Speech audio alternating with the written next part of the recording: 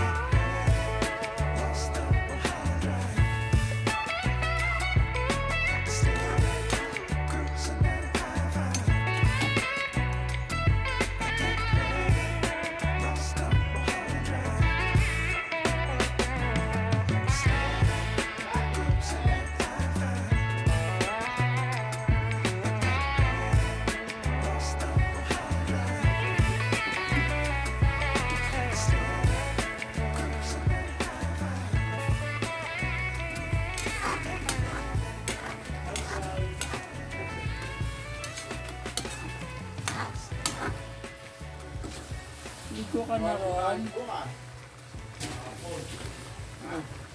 Buti naman hapon.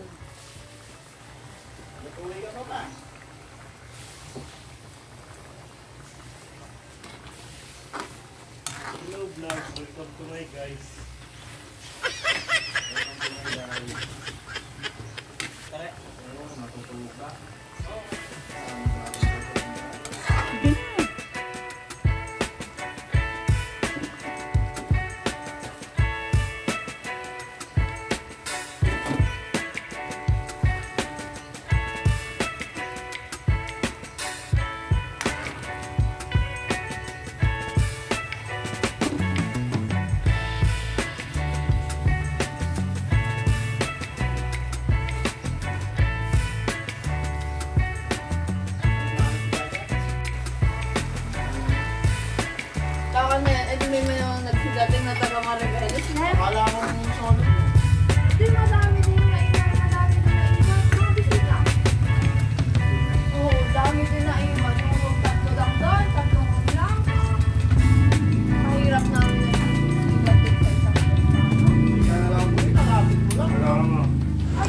Yay! Paluto na yung ating Picadillo.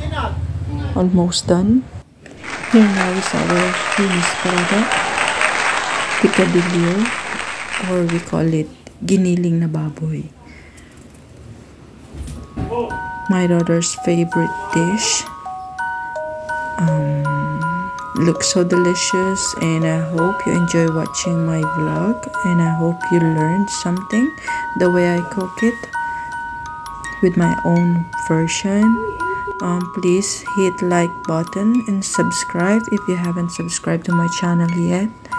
And again, this is Aileen de la Cruz